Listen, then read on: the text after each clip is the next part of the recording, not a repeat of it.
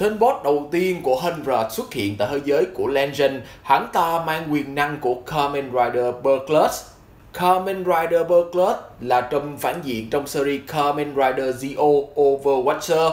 Hắn ta bản chất chính là Tokiwa Sogo, kẻ sẽ trở thành Omagio, nhận thức được bản thân sẽ trở thành người bị nhắm tới bởi nhiều thế lực khác nhau. Hắn ta đã tạo một kẻ thế mạng, đó chính là Tokiwa Sogo mà chúng ta biết. Khi tất cả đầy đủ 18 chiếc Raiwatch được thu thập, cũng chính là lúc sự kiện trong movie Overwatcher được diễn ra. Wop đen đã âm thầm phản bội và đưa tất cả những Raiwatch này cho tên Sogo thật sự. Hắn ta xuất hiện kẻ thống trị của tất cả những Watcher khác, trang phục tương tự như bọn Watcher, tông màu đỏ khác biệt thể hiện đẳng cấp thủ lĩnh, tiết lộ thân phận của mình cũng như quá trình giúp đỡ Sogo từ thuở nhỏ. Ở trong bóng tối để ẩn mình, hắn ta đã nhìn ngắm thế giới này rất lâu và cảm thấy sự xung đột là không thể nào chấm dứt nên muốn tái thiết lại thế giới và đây chính là lúc hắn ta ra mặt để làm chuyện đó hắn ta đã ham chiến với tất cả những rider của Fezio bằng hình dạng Kerberclut với sự kết hợp của Black, Black RX cũng như Z. Để trở thành Berklut, hắn ta cần có chiếc quách tương ứng của mình kết hợp với GQ Driver.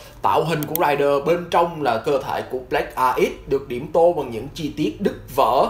Kèm với đó là những chân châu chấu đặc trưng trên hai tay của hắn. Đai đồng hồ cũng như những chi tiết khác được điểm tô bằng màu vàng kim đặc trưng. Phần đai đồng hồ có vẻ là một chiếc đồng hồ cổ điển. Kèm với đó là đôi mắt đỏ với ký tự của hắn trên phần gương mặt.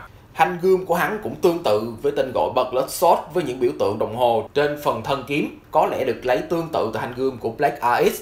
Khả năng chiến đấu của Bucklet khi sử dụng thanh gươm này được gia tăng đáng kể, hắn dễ dàng áp đảo Zio trong lần đầu gặp mặt những khả năng tiềm ẩn mà Berkeley sở hữu giống với Omagio Berkeley cũng có thể sử dụng sức mạnh của những rider khác thông qua rai vách của họ. Khả năng từ hình dạng Bio Rider của Blake RX chuyển hóa thành một dạng chất lỏng tấn công kẻ thù cũng như vô hiệu hóa đòn tấn công của họ. Kèm với đó là khả năng của Rider cuối cùng, Rider Z, chuyển hóa bản thân trở thành khổng lồ để đối mặt với hình dạng Oma Firm và tất cả những Rider do Zio triệu hồi nên mang sức mạnh của thời không và bậc đế vương trong người, hắn ta cũng có thể vô hiệu hóa sức mạnh của những rider do Zio triệu hồi tấn công hắn. Đòn tất sát Burglars Time Break, hắn ta lao lên không trung, thực hiện cú rider kick, dán thẳng vào kẻ thù, một cú đá cực mạnh đến từ vị thần thời gian.